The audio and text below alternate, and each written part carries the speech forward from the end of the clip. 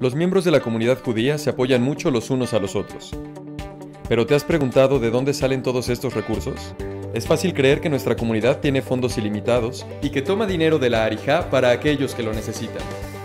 La realidad es otra. Nuestra comunidad no tiene fondos ilimitados y tristemente cada vez es mayor la cantidad de gente que necesita de nuestro apoyo. Nuestra comunidad tiene una cantidad de gastos impresionante. Muchos de nuestros hermanos no tienen para pagar la educación de sus hijos. Damos medicinas a los necesitados. Repartimos más de 350 recetas semanales de manera gratuita. Muchas parejas no tienen la solidez económica para contraer matrimonio. Les llega a preocupar el día más feliz de su vida. Mucha gente de la comunidad no tiene seguro de gastos médicos y en casos de emergencia pagamos operaciones que salvan vidas. Hay gente de la comunidad que no tiene techo. Sí, personas de tu comunidad no tienen dónde vivir.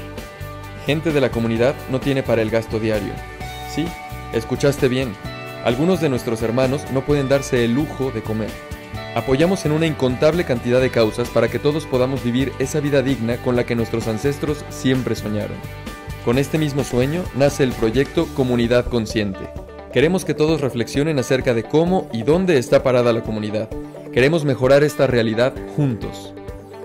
Facilitamos el trámite. Estás a solo un clic de ayudar. A través del portal hazlorealidad.org puedes realizar donaciones recurrentes a la tarjeta de crédito.